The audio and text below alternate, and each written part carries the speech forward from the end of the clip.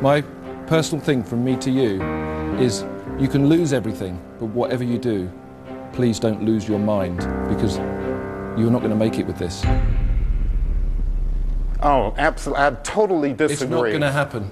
It it's will not going to happen. happen.